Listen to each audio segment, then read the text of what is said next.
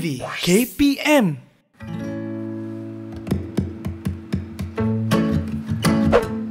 Selamat sejahtera murid-murid. Apa khabar semua? Saya Cikgu Kugan Tiagarajan dari SK Sri Danda Hidupani KL. Bagaimanakah dengan kesihatan murid-murid? Cikgu harap semuanya sihat. Kalau kita inginkan kesihatan yang baik, kita mesti jaga kebersihan diri dan amalkan gaya hidup yang sihat. Adakah murid-murid sudah bersedia untuk pembelajaran pada hari ini? Oh, sudah. Bagus semua. Jangan lupa buka buku teks pendidikan moral SK tahun 3. Sediakan pensel dan buku nota. Baiklah, jom kita mulakan topik hari ini. Murid-murid, sebelum memulakan pembelajaran pada hari ini, cikgu hendak murid-murid hayati dua gambar yang ditunjukkan. Gambar pertama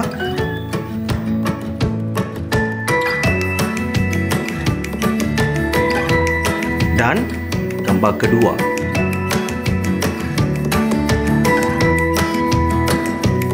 Cikgu nak tanya beberapa soalan. Apakah program yang dijalankan dalam kedua-dua gambar tadi? Betul murid. Dalam gambar pertama, program Hari Kantin. Dalam gambar kedua pula, program Sekolah Selamat. Boleh senaraikan siapakah yang murid-murid lihat dalam kedua-dua gambar tadi? Ya, murid-murid, anda lihat guru besar, guru penolong kanan, guru, murid, ibu bapa dan pegawai polis. Apakah yang dilakukan oleh murid dalam gambar itu? Bagus semua. Ya, murid dalam gambar pertama bersama dengan guru menjemput masuk pelawat ke sekolah. Murid dalam gambar kedua pula memberikan buku program kepada pegawai perhubungan polis sekolah. Baik murid-murid, berdasarkan dua gambar tadi, boleh teka apakah nilai moral yang kita hendak belajar pada hari ini? Ya, betul murid-murid. Kita akan belajar nilai hormat. Bagus semua. Oh ya, sebelum terlupa, murid-murid perlu ingat tajuk pembelajaran kita pada hari ini tajuknya adalah Hormati Warga Sekolah dan Pelawat. Murid-murid, sila rujuk muka surat 41 hingga 48 buku teks Pendidikan Moral FK tahun 3. Apakah definisi nilai hormat? Menghargai dan memuliakan seseorang serta menghormati peraturan institusi sosial. Istilah hormat membawa maksud pandangan yang tinggi terhadap seseorang dengan memberikan layanan yang penuh sopan dan berhemah. Objektif pembelajaran hari ini. Pertama, senaraikan warga sekolah dan pelawat Kedua, empat cara menghormati warga sekolah dan pelawat Ketiga, kepentingan menghormati warga sekolah dan pelawat Keempat, perasaan apabila dapat menghormati warga sekolah dan pelawat. Dan kelima, contoh sikap hormat terhadap warga sekolah dan pelawat. Baiklah murid-murid, apakah maksud warga sekolah? Warga sekolah adalah semua orang yang berada di sekolah. Pelawat sekolah pula tetamu yang datang melawat ke sekolah kita jom kita mengenali warga sekolah dan pelawat sekolah. Siapakah warga sekolah dan pelawat sekolah? Ya, murid-murid. Warga sekolah terdiri daripada guru besar, guru penolong kanan, guru disiplin, guru, pengawas sekolah, pengawas pusat sumber, murid, kerani sekolah, pekerja pembersihan sekolah, pekebun sekolah, pembantu kantin, pembantu kedai buku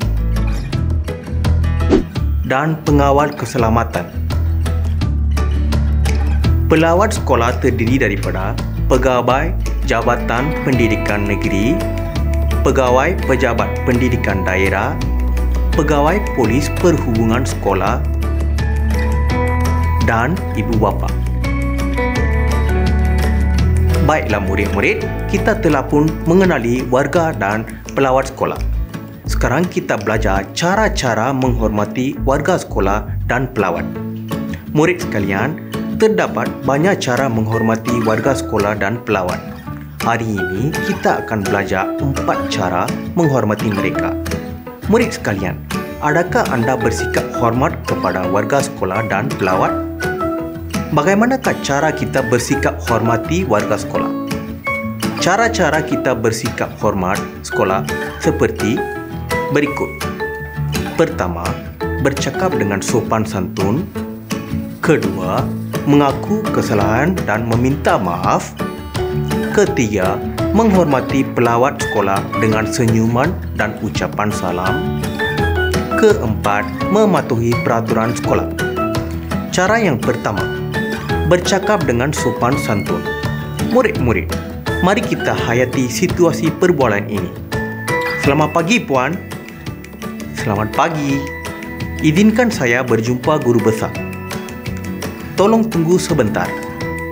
Baiklah puan, terima kasih. Murid-murid, bagaimana cara pertuturan murid itu dengan kerani sekolah tadi? Ya, betul.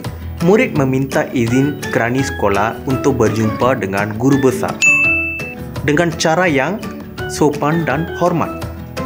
Apabila bertutur dengan warga sekolah dan pelawat, elakkan bercakap kasar agar tidak menyinggung perasaan mereka mereka tentu gembira jika kita menghormati mereka. Cara yang kedua, mengaku kesalahan dan meminta maaf. Murid-murid, mari kita hayati situasi perbualan ini. Maafkan saya cikgu, saya datang lambat kerana bas sekolah rosak. Baiklah, awak boleh duduk. Murid-murid, kenapa murid itu lambat datang ke sekolah? Ya, murid itu lambat datang ke sekolah kerana bas sekolahnya rosak. Adakah murid itu mengaku kesalahan dan meminta maaf kepada cikgu? Ya, betul murid-murid.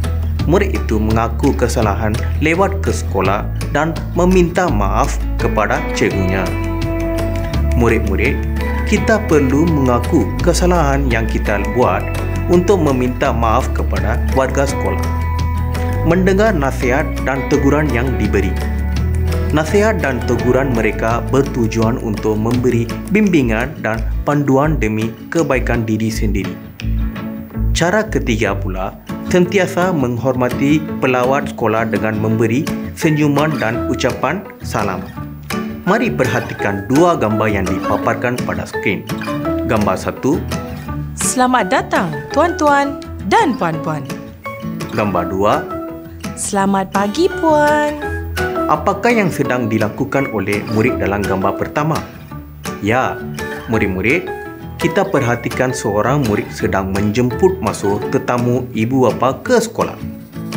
Apakah yang sedang dilakukan oleh murid dalam gambar kedua? Dalam gambar kedua pula, seorang murid mengucapkan salam kepada pegawai pendidikan yang hadir ke sekolah.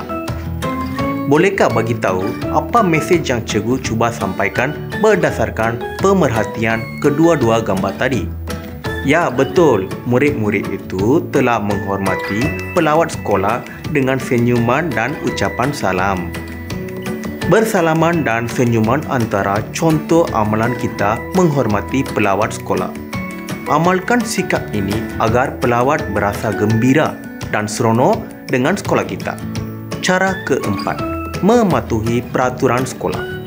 Murid-murid, sila perhatikan beberapa gambar situasi yang dipaparkan dalam skrin.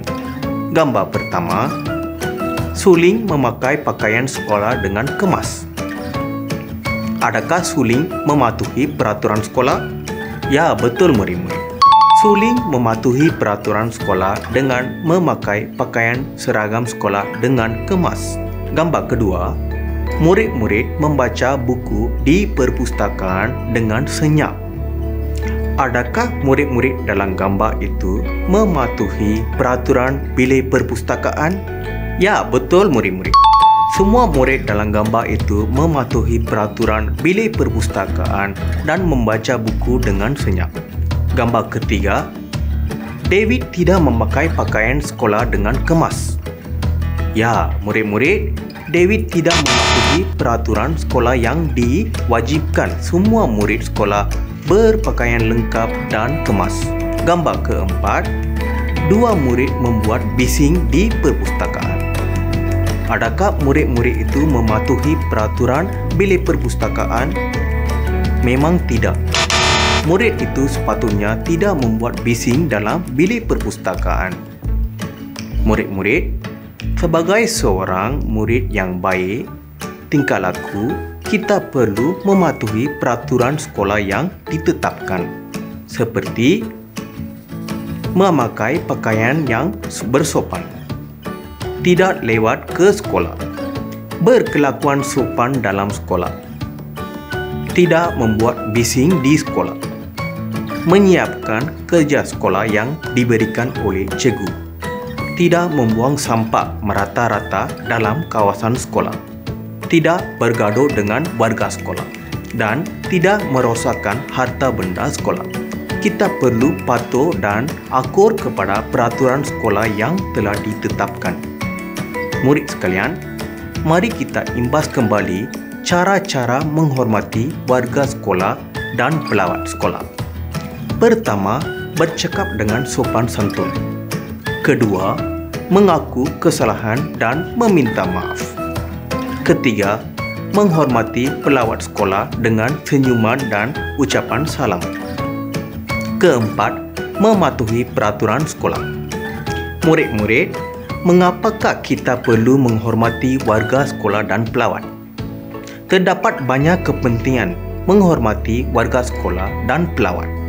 Murid-murid, hari ini kita akan belajar beberapa kepentingan menghormati warga sekolah dan pelawat. Baik murid-murid, jika kita menghormati warga sekolah kita dan pelawat, perkara tersebut akan dapat memupuk hubungan mesra antara warga sekolah dan pelawat. Murid-murid, sila perhatikan gambar situasi ini. Terima kasih, Pakcik. Selamat pagi puan. Dalam gambar pertama, seorang murid lelaki mengucapkan terima kasih kepada pakcik kantin yang membawa air minuman. Dalam gambar kedua, seorang murid perempuan mengucapkan salam kepada pegawai pendidikan daerah yang melawat ke sekolah. Sikap hormat ini boleh ditunjukkan melalui cara perlakuan kita. Apabila kita menghormati warga sekolah dan pelawat, akan mewujudkan hubungan yang mesra dengan mereka. Kepentingan seterusnya dapat mengelakkan pergaduhan dan perselisihan faham. Murid-murid, sila perhatikan gambar situasi ini. Murid satu, Kita perlu menghormati semua orang. Murid dua, Betul kata rakanku. Murid satu, Bolehkah saya duduk di sini? Murid dua, boleh, silakan. Dalam gambar pertama, sekumpulan murid berinteraksi menyatakan kita perlu menghormati semua orang. Dalam gambar kedua pula, seorang murid meminta izin kepada murid lain untuk duduk di sebelah mereka. Apabila kita menghormati warga sekolah, kita dapat mengelakkan berlakunya pergaduhan dan perselisihan faham. Kepentingan yang ketiga pula dapat mewujudkan suasana sekolah yang aman dan harmoni. Seterusnya, mari kita perhatikan gambar situasi ini. Cikgu, murid-murid, mengapakah kita perlu hormat kepada warga sekolah dan pelawat? Murid satu, suasana sekolah aman dan harmoni. Cikgu, Murid dua, saya cikgu, kita dapat menjaga imej baik sekolah. Murid-murid, apabila kita menghormati warga sekolah dan pelawat, kita dapat menyerlakan suasana sekolah yang aman dan harmoni. Kepentingan yang keempat pula dapat menjaga imej sekolah. Seterusnya, mari kita perhatikan gambar situasi ini. Selamat pagi Encik. Selamat pagi Puan. Murid-murid sekolah ini memang baik. Ya, betul. Semua murid ini berkelakuan baik dan hormati semua. Murid-murid, apabila kita menghormati pelawat sekolah, secara tidak langsung kita juga dapat menjaga imej sekolah. Murid sekalian, mari kita imbas kembali kepentingan menghormati warga sekolah dan pelawat. Pertama, memupuk hubungan mesra antara warga sekolah dan pelawat. Kedua, mengelakkan pergaduhan dan perselisihan faham. Ketiga, mewujudkan suasana sekolah aman dan harmoni. Keempat, menjaga imej baik sekolah. Apakah perasaan apabila menghormati warga sekolah dan pelawat? Murid-murid, sila perhatikan gambar situasi ini. Situasi satu. Selamat pagi kakak. Selamat pagi adik. Murid-murid, dalam gambar tadi, seorang murid mengucapkan salam kepada pengawal keselamatan sekolah. Dan pengawal keselamatan juga mengucapkan salam kepada murid tersebut. Apakah perasaan warga sekolah apabila mereka dihormati? Ya, murid-murid, warga sekolah berasa bangga apabila mereka dihormati. Murid-murid, sila perhatikan gambar situasi ini. Situasi 2. Selamat pagi, Puan. Selamat pagi adik. Apa khabar, Puan? Kabar baik adik. Murid-murid, dalam gambar tadi, seorang murid mengucapkan salam dan bertanya kabar kepada pembantu pejabat sekolah. Dan pembantu pejabat sekolah juga membalas salam kepada murid tersebut. Apakah perasaan murid itu apabila menghormati warga sekolah? Ya, murid-murid, sudah tentu murid itu berasa gembira kerana menghormati warga sekolah. Sebagai murid, anda akan berasa gembira kerana menghormati warga sekolah. Murid sekalian, mari kita lihat beberapa contoh sikap hormat warga sekolah. Sila lihat gambar situasi ini. Situasi satu, Selamat pagi, Puan. Boleh kami masuk? Silakan. Masuk. apakah yang dilakukan oleh beberapa murid tersebut? Ya, bagus murid-murid. Murid tersebut mengetuk pintu dan meminta izin untuk berjumpa dengan guru besar. Adakah tindakan murid itu wajar? Ya, bagus murid-murid. Semasa kita ingin berjumpa dengan guru besar, kita perlulah meminta izin. Tindakan itu mencerminkan anda menghormati guru besar. Murid-murid, cuba perhatikan gambar-gambar situasi ini. Situasi 2, Sachin dan rakan-rakannya terjumpa Ince Selua, seorang pekerja sekolah yang baru bersarang. Pada hari itu, beliau melawat sekolah. Mereka bertanyakan kabar dan berbual dengan Ince Selua. Adakah Sachin dan rakan-rakannya menghormati pelawat sekolah iaitu Ince Selua? Ya, bagus murid-murid. Semua murid dalam gambar tersebut menghormati pelawat sekolah.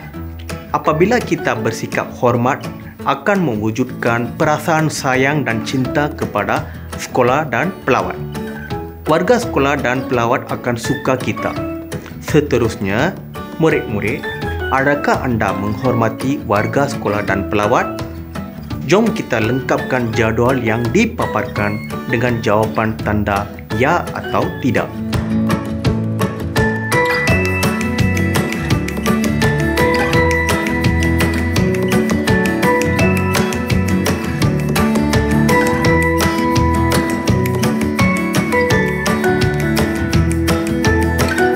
Sudahkah murid melengkapkan jadual ini dengan jawapan yang betul? Mari kita semak jawapannya. Satu, Adakah kamu memberikan ucapan salam apabila bertemu dengan guru? Bagus murid. Jawapannya ya. anda perlulah memberikan ucapan salam apabila bertemu dengan guru. 2. Adakah kamu memberikan perhatian semasa guru besar sedang berucap? Bagus murid. Jawapannya ya. Anda perlu memberikan perhatian semasa guru besar sedang berucap. 3. Adakah kamu menghormati pekerja sekolah? Bagus murid-murid. Jawapannya ya. Kita perlu menghormati pekerja sekolah. 4. Adakah kamu menghormati ibu bapa yang melawat ke sekolah? Bagus murid-murid. Jawapannya ya kita perlu menghormati ibu bapa yang melawat ke sekolah. 5. Adakah kamu mengamalkan sikap saling menghormati antara rakan? Bagus. Jawapannya ya, kita perlu mengamalkan sikap saling menghormati antara rakan. 6. Adakah kamu mendengar arahan guru? Bagus murid-murid. Jawapannya ya, kita perlu mendengar arahan guru. Tujuh, adakah kamu menghormati warga sekolah? Bagus murid-murid. Jawapannya ya, kita perlu menghormati warga sekolah. Pandainya murid-murid, syabas. Inilah contoh-contoh hormati warga sekolah dan pelawat yang kita perlu amalkan baik murid-murid sekarang masa untuk menguji kefahaman anda tentang pembelajaran hari ini. Jom kita menjawab beberapa soalan sebelum akhiri kelas pada hari ini. Tulis hormat atau tidak hormat berdasarkan gambar berikut.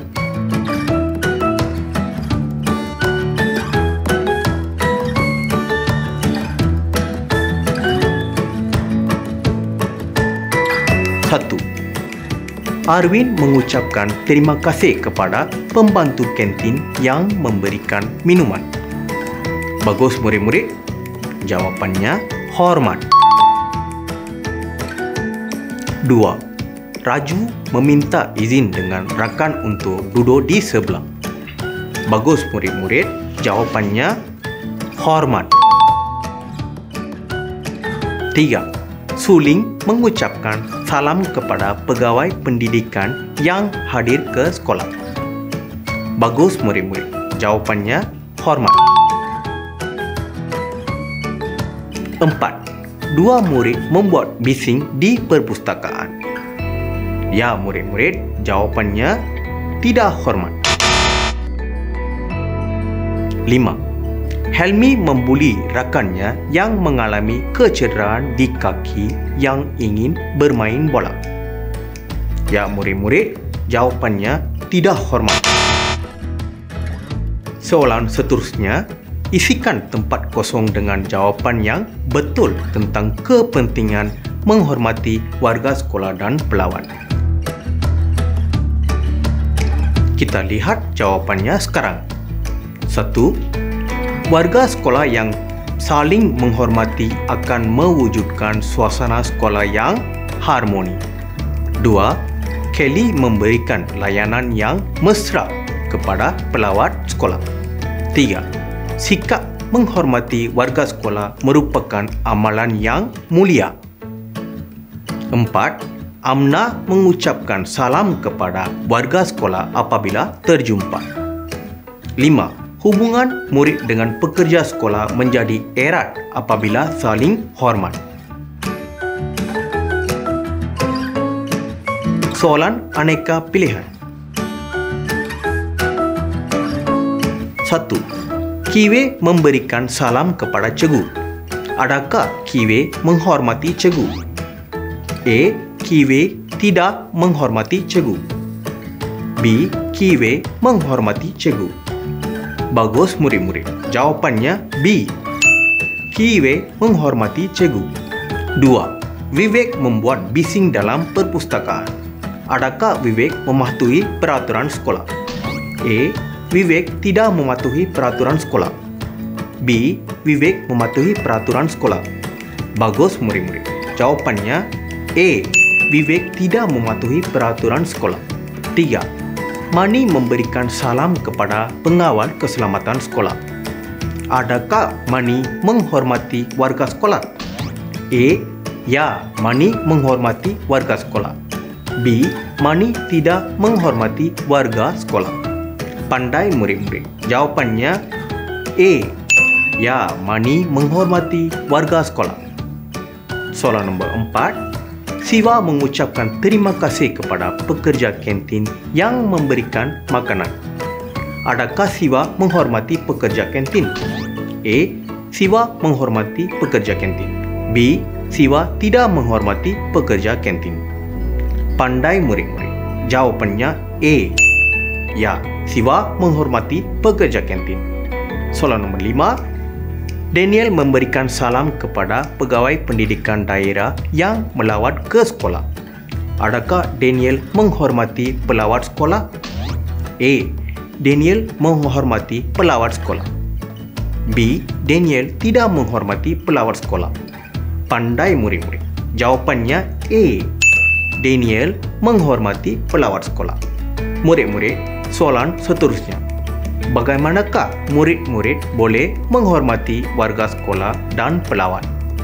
Jawapannya, pertama, menghormati pengawal keselamatan sekolah dengan mengucapkan terima kasih.